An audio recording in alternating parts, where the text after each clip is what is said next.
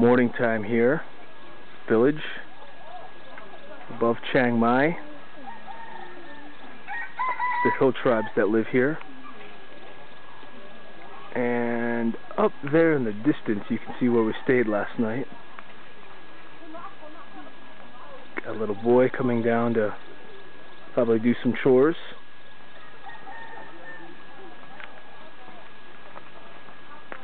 Solar powering. See more of the buildings up on the hill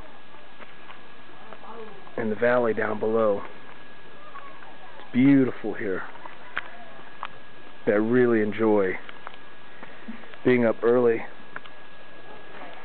Not only with the roosters, but with all the people. Oh, Abuya. Booyah.